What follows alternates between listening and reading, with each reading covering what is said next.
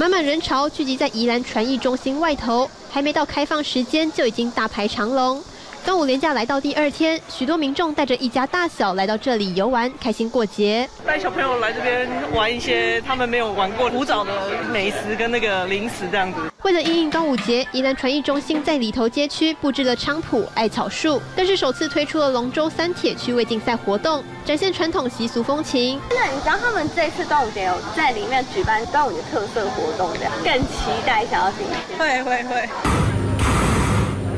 另一边，巨大的热气球点燃火势，准备要载上游客飞到空中去探险。民众一个比一个还要早起，前来东山火车站前排队抢搭热气球。两点多的时候就起来准备，所以几点到这里的？